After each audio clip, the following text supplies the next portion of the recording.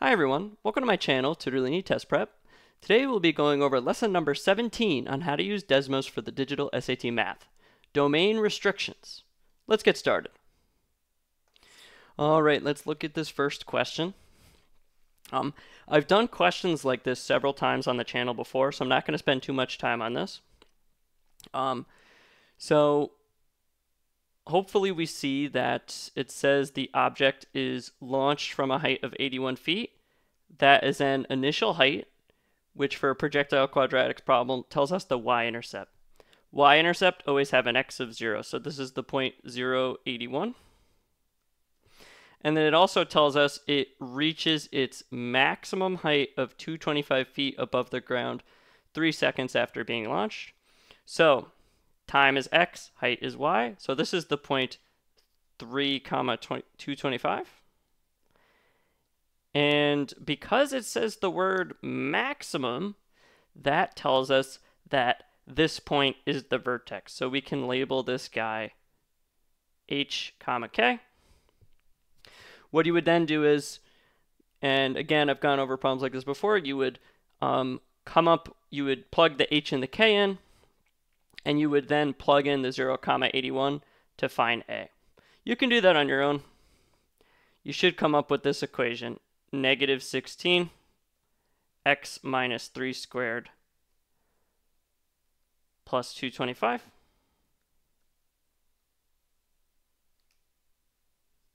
And of course, going into the exam, you want to make sure you know vertex form by heart, which I wrote on the board here. So let's go to Desmos and solve the question.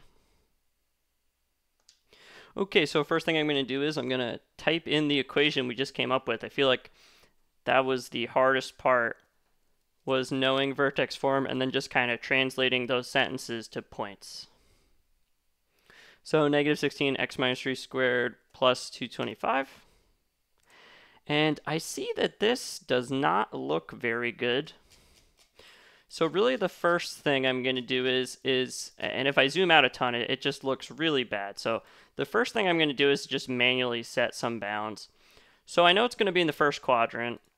So why don't we do an X? And then this guy goes to 6.75. So why don't I click on the gear and set the X bounds from like negative 3 to a little bit past um, 6.75. So how about 10? And then the y bound, let's see, it's going to go from 0 to 225. So why don't we go a little bit below 0 and do negative 10, and then a little bit past 225, so 240. Okay, so kind of manually setting those um, kind of bounds makes this picture a lot easier to see. Now, the reason why I'm doing this with you guys is to use a story problem that you're probably familiar with. Again, this is like something being launched or throwing a ball, like again, goes up in the air, comes back down, is what you can do to just look at the first quadrant of this graph is you can restrict the domain and range. So how you do that on Desmos is you put curly brackets at the end. So I'm going to put a left curly bracket and we want x to be 0 or positive. So I'm going to do x is greater than or equal to 0.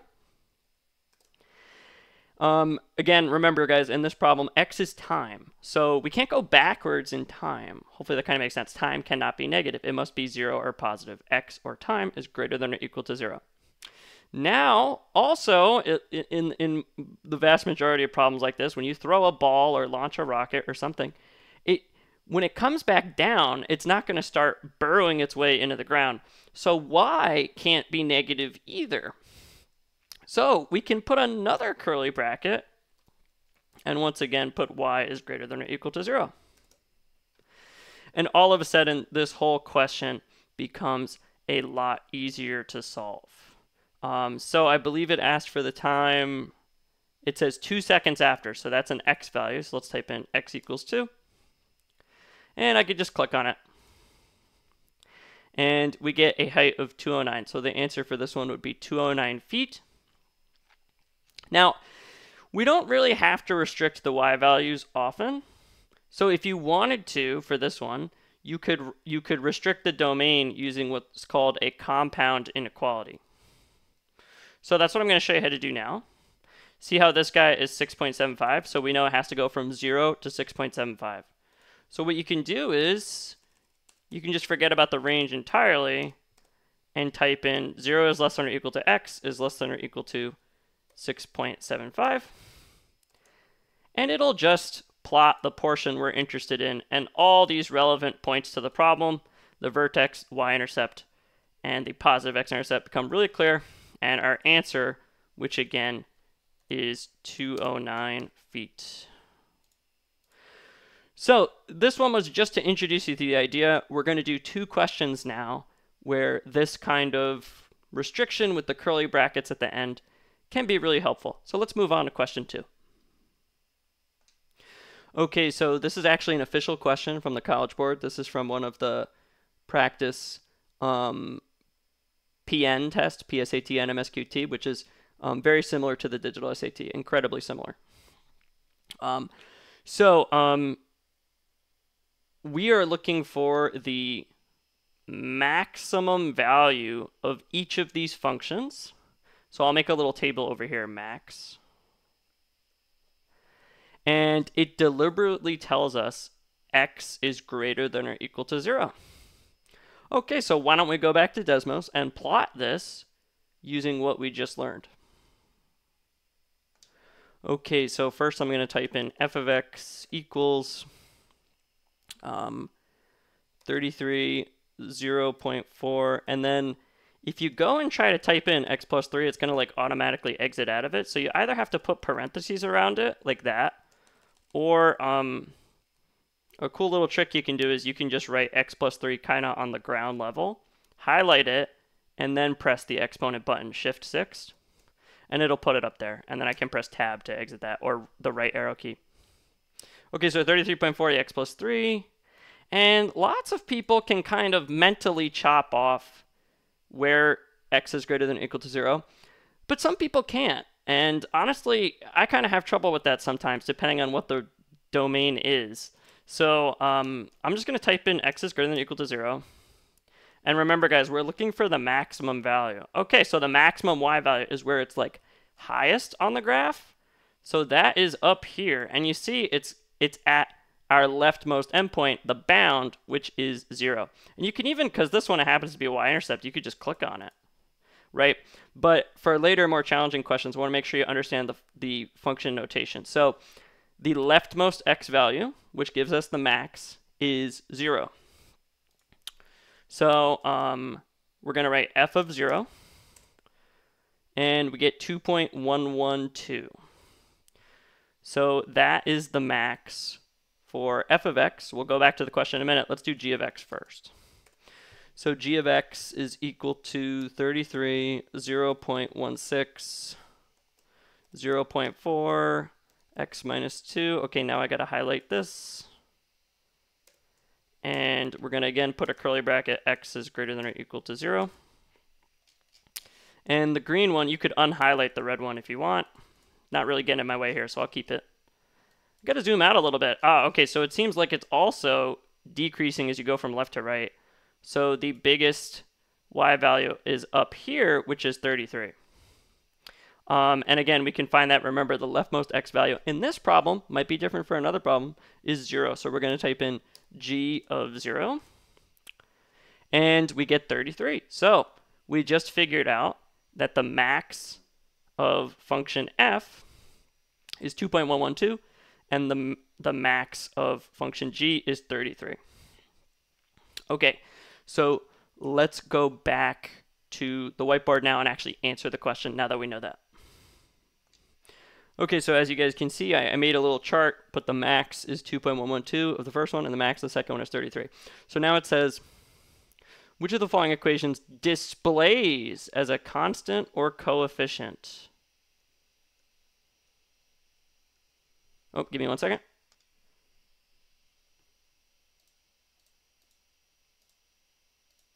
All right, let me see. Okay, so displays as a constant or coefficient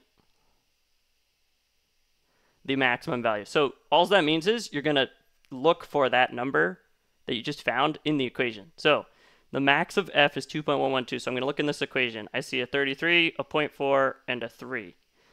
I don't see a 2.112 anywhere. So this guy is out. He does not count. All right, now let's look at the second one. We got a max of 33. Oh, here we go. I see 33, 0.16, 0.4, and 2, or negative 2. And um, 33 is a constant or coefficient in this equation. So this one does count. So the answer to this question is 2 only, which is B. Let's move on to question 3. Okay, so for this one, we want to find a minimum this time of each function. And we are going from 1 is less than or equal to x is less than or equal to 5. So a little bit more complicated. This one might even be a little bit harder to do in your head without, um, you know, understanding how to leverage Desmos. So let's let's make a, another little kind of column here for the minimum. And now let's go to Desmos and um, type each of these in. Okay, so the first one is f of x equals 2, 0 0.8 for x minus 4. And I'm going to press shift 6 on that. And we're going to do curly bracket 1 less than equal x less than equal 5 curly bracket. And um, for this one, I can kind of see that we're looking for a minimum. So the minimum is the bottommost y value. So it's it's actually um, all the way on the left. So you could actually click and hold down left click and kind of drag this dot all the way to the end. And it'll tell you. But I still encourage you to use the um, function notation because this will round. If you use the function notation, it won't round to three decimal places. You'll get the exact answer. Um, this one I think is the same, but the next one isn't. So we're going from, remember, we're going from 1 to 5. So the leftmost x value for this one um, is 1. So we're going to do f, and the, the lowest point is the leftmost x value. So we're going to do f of 1, and we get 0.025. So let's just kind of mental note back on your paper. Okay, the min of the first one is 0.025. Write that down. And if you want, just to kind of drive this home, we can actually plot that point. So let's do that 1 comma f of 1 and hit label. And I'm going to do that with purple. How about?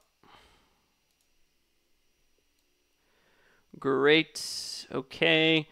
Now let's do the second one. g of x equals 64, 0 0.3125, 0 0.5, x plus 1. Going to highlight this, shift 6, tab, curly bracket, 1 less than or equal to x is less than or equal to 5. And this one looks a little different.